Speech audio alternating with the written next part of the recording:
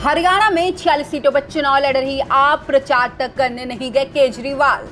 बता दें कि हरियाणा में विधानसभा चुनाव आखिरी पड़ाव पर पहुँच गया है। भारतीय जनता पार्टी और कांग्रेस का शीर्ष नेतृत्व जनता के बीच जा रहा है। लेकिन आम आदमी पार्टी के राष्ट्रीय संयोजक अरविंद केजरीवाल प्रचार की पिक्चर से पूरी तरह गायब हैं। हरियाणा में आम आदमी पार्टी आधी से ज़्यादा सीटों पर चुनाव लड़ रही है। बावजूद इसके केजरीवाल कैंपस से पूरी तरह नदारद है।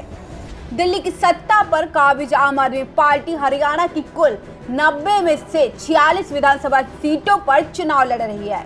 दिलचस्प बात यह है कि हरियाणा दिल्ली से सटा है और मुख्यमंत्री अरविंद केजरीवाल का गृह राज्य भी है। लेकिन अब तक उन्होंने यहाँ एक भी रैली या जनसभा नहीं की है। अरविंद केजरीवाल हरियाणा में चुनाव प्रचार के लिए क्यों नहीं पहुँचे हैं? इस सवाल पर हरियाणा के चुनाव प्रभारी और आम आदमी पार्टी के राज्यसभा सदस्य सुशील गुप्ता ने मीडिया से बातचीत करते हुए बताया कि हरियाणा चुनाव में केजरीवाल की गैर मौजूदगी के पीछे सुशील गुप्ता ने समय की कमी को कारण बताया साथ ही ये भी बताया कि दिल्ली में चुनाव होने जा रहा है और अरविंद केजरीवाल वहाँ व्यस्त हैं।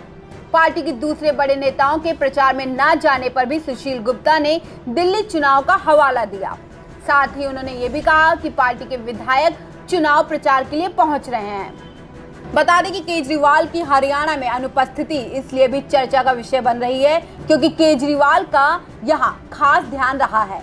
हाल ही में हुए लोकसभा चुनाव में आम आदमी पार्टी ने जेजेपी के साथ मिलकर चुनाव लड़ा था, लेकिन दोनों पार्टियों को एक भी सीट नहीं मिल पाई थी और बाद में दोनों का साथ छूट गया था। आम आदमी पार्टी अपने दम पर 50 फ़ीसदी से ज़्यादा सीटों पर चुनाव लड़ रही है। लेकिन पार्टी का शीर्ष नेतृत्व चुनाव से बिल्कुल दूर है। सुशील गुप्ता ने बताया कि अभी तक अरविंद केजरीवाल के हरियाणा आने का कोई प्लान नहीं है। बता दें कि हरियाणा में इक्कीस अक्टूबर को मतदान है, लिहाजा 19 अक्टूबर को चुनाव प्रचार का आखिरी दिन है।